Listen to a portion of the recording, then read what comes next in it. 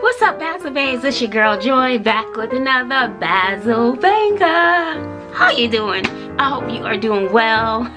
Yes, the kids like my hair at school today. I just I just didn't feel like the bun on the top. And if it's down at school, it's just too much. It's just like if I'm looking down to help a student looking at their paper, it's just hair.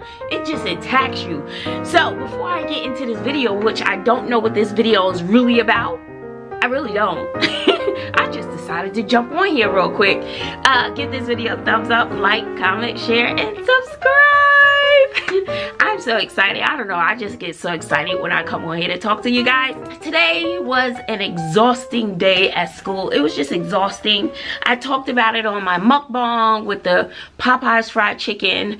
I upset myself so much that I lost my appetite while I was doing the mukbang. This is frustrating as a teacher dealing with students, um, unmotivated students, and then parents want to blame the teacher for the students' lack of and just dealing with the red tape, just dealing with the whole picture can sometimes be exhausting. But you know what? you know what sis? Today i learned there is only 61 days left of school. So i'm like oh, oh joy you got this. You got this joy. You can do this. 61 days it's so exciting not that i know what i'm gonna be doing with my time off you know just lots of soul searching i hope i'm able to do do a little traveling, get away by myself, just relax, read a book. But I have all these plans in my head. If any of those things will come to fruition, I do not know. Sydney, I had to write a note for Sydney. Let me tell you something. Her family at church, they just love her to pieces. She's their family. They look out for her. Sometimes I'm like, you know that's my daughter, all right? Y'all y'all do know that is my child, okay? no, but they love her and and it's wonderful when you find someone who loves your child as much as you do. And um they they just love her pieces. So I had to write a note to have her leave school early so she can deal with her passport stuff. So I will say um, her donor did come through and fill out the paperwork for her, got the paperwork notarized for her passport so it was it was touch and go there was lots of tears lots of crying um, but he did come through at the last minute after looking for him, searching for him. You know, we had to track him down. He did come through and filled out the paperwork for her, had it notarized, and then left it at the UPS for us to pick up. Not for her to pick the paper up from him, but he left it at the UPS, so he hasn't seen her in a couple of years. I thought that was a little strange, but you know, that's neither here nor there. She was more concerned with getting her passport so she could go on her mission trip. So she is beyond excited, and it was just really hard to see her cry and see her hurt because none of us could understand why having the passport paperwork was so complicated and difficult. You know, it, it, it took a lot for her. And I know I'm the mother. I do know that. But I didn't want, I didn't want, I didn't want to have anything to do with that situation. I, I really didn't. I couldn't call. I guided her. I did guide her. Her church people guided her, but I was not making a call. I, I, I just can't. I just couldn't. Look, this was her plight, okay? So I was like, Sydney, you have to call. Well, it wasn't, well, they did end up having a conversation about where they can meet, what she need, how desperate she was, the begging, the pleading that she did. Please, I just need you to sign it. Just sign the paper. You don't even have to see me. Just sign it.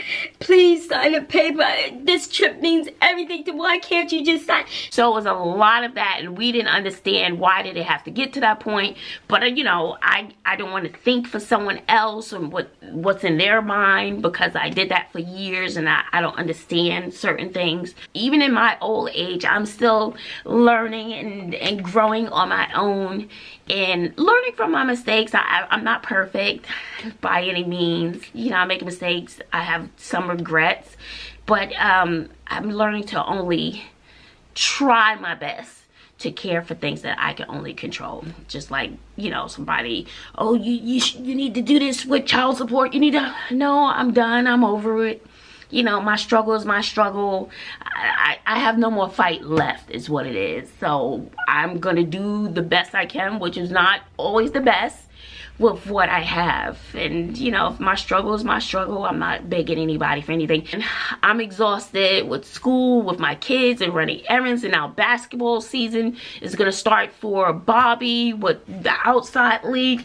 It's just to be crazy. It's, it's just to be crazy. I, I, I'm just doing the best I can and then trying to deal with my own stuff sometimes it's overwhelming guys okay? It's overwhelming it's overwhelming but you know i'm hanging in there. I'm still gonna smile you know as long as i got my front teeth bro. The back ones are jacked up bro but as long as i got my front teeth bro. And I, I, appreciate all of you so much even just listening to me and watching my videos. Um, that it just warms my heart anyway you know all five of y'all okay? You know i'm just playing when i say that so don't think into that don't okay? And so so i'm so excited about that. So i want to say connie because you know this is the connie and joy show here. You know and it's terrible. Did somebody unlock my door? Hello? Anybody there?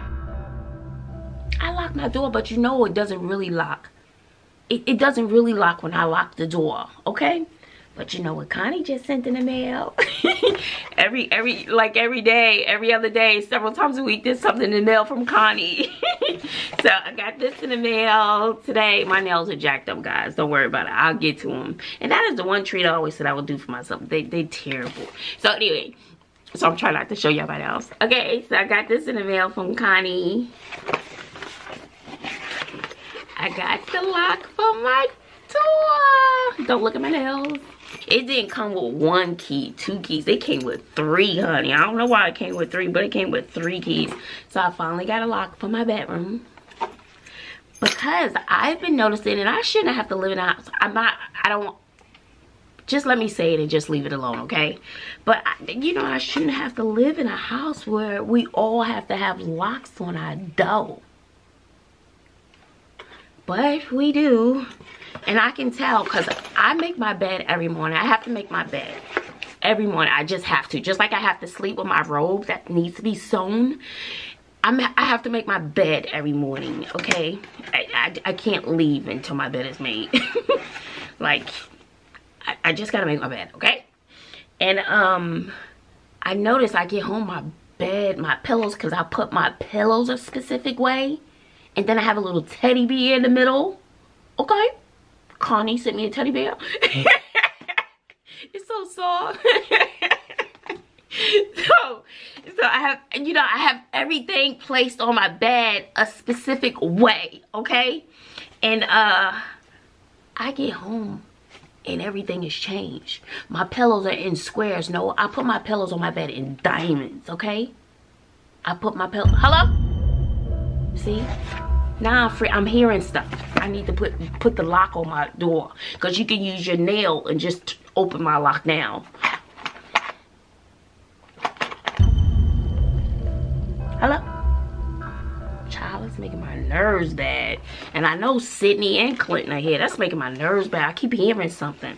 So anyway, and my pillows are in squares. They, my pillows are not in diamonds. And then the teddy bear is, is facing another direction. No, somebody was in my room. Why are you in my room? Or I come home and my toilet seat is down. No, so if I lock my door when I leave in the morning, my bedroom door, that means stay out of my, anyway, anyway, that's neither here nor there. All of us will now have locks on our bedroom door. Thank you very much. Thank you, Connie. I appreciate you so much. So the other thing, I've been holding on to this one, but you know, Remember we had that conversation about somebody going in the fridge, you wrap your stuff up with 50 trash bags and you know you shouldn't be touching it? Because if you put it in the refrigerator underneath the produce, and that means don't touch my ish. I have the solution for you. It is called a lockbox. Let me tell you, you can put your lockbox in the refrigerator at your job, in the refrigerator at your house. You can put your lockbox in your closet or underneath your bed and you put a code. Safer storage for your items. Okay? And when I go to Popeyes, on Tuesday because it's discount Tuesday and I don't eat all the chicken. And there's a leftover piece of chicken or two that I want for the next day, not for you, you didn't buy it, not for you, you didn't buy it either, and not for you, you definitely didn't buy it. I don't want anybody touching my ish. So, I have a solution for that. You're gonna pull out your handy lockbox with your chicken inside. Can you see the chicken? But you put your chicken in the lockbox and you put it in the refrigerator. You change the lock here and your chicken will be safe. And it'll be there when you get home. Now we living in a world where we have to lock up our little snacks and goodies because you have kids who don't pay no mind to what you say. They want to sneak in your stuff or nibble on the little crunchy crumbles on the Popeyes chicken. So now, here's the solution. Thank you from Connie Chow. I now have a lockbox and my leftovers will be protected. Oh!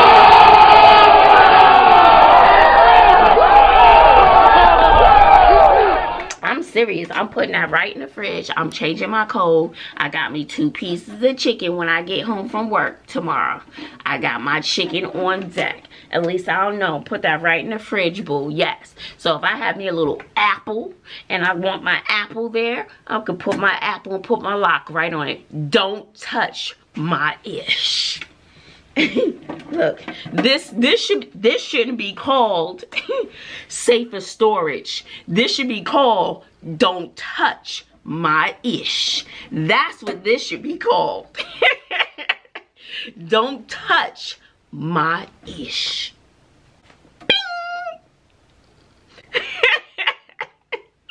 I absolutely love it. I love it. So if I have a little snack or something or something that's extra good and I don't want nobody, I don't gotta say nothing. Boop, boop, boop,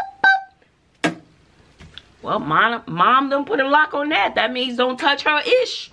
That's what that means. I got the, the snack on on lock. Or I got me some Kashi GoLean cereal. Everybody loves that cereal, honey. And you sprinkle the little uh, granola things right on your yogurt or something like that. Or you just want to just snack on it. Everybody loves that. And it's just a few left. Boop, boop, boop. You on that last roll of toilet paper. You know that is your roll. Nobody else touches your roll because y'all used up your roll.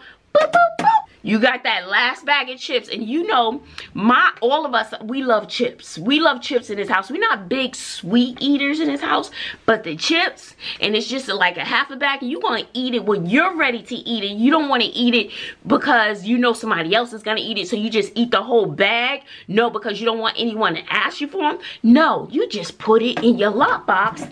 Boop, boop, boop. Don't touch my ish. Okay? Or remember when I had that Entenmann's cake? I could have put that Entenmann's cake. Hello? I could have put that Entenmann's cake in there. See, I was concerned because my room doesn't lock. So I had to hide the Entenmann's cake in my room. Yes, I did. I hid the Entenmann's cake in my room. But if I had my lockbox, I could have sat it out on display. Boop, boop, boop. Don't touch my ish okay? Or you have that last few pieces of gum or last few pieces of candy and you just want to save that candy. You don't want kids roaming around your room. Let me tell you i don't care. I was a kid. I used to look around my mother's room when i was a little kid. I don't know what i was looking for. And sometimes when you go looking for something you gonna find something. I did find some stuff before and i wish i can erase that from my memory. But you know if she had her lockbox or if the, you know you have those safety features and that's how kids get the you know the little guns and stuff you got your little lockbox boop, boop, boop. nobody knows the code okay don't touch my ish there you go. Your little lockbox. I'm really feeling this lockbox. I think I'm talking myself into a little more. This is just ingenious, especially when you put it in the refrigerator. You don't even gotta say anything. You don't gotta say, don't touch my stuff. This is mine. Don't eat my don't eat my leftover Chinese food. You know that's mine, that's not yours. And then you get home, your stuff gone. Nope. Now you got the lockbox. No, now you got the safety box. Don't touch my ish safety box. That's what you got. You put your little Chinese food, leftover Chinese food up in the box. Your stuff is secure. You're going to have your snack and eat it right in front of everybody's face when you get home because they've been looking at it. And the wonderful thing is that you can see through this. You're like, dang, that looks good, but I don't know the code don't touch my ish. That's what that is right here. this should be my thumbnail. So, loving it. My little two pieces of chicken. I know I'm going to have that when I get home tomorrow. Because when I go to school, I come home hungry. And sometimes they didn't eat all the lunch meat, all the cheese. They didn't eat everything. Don't touch my ish. I'm guaranteed to have my snack when I get home from work. Hmm.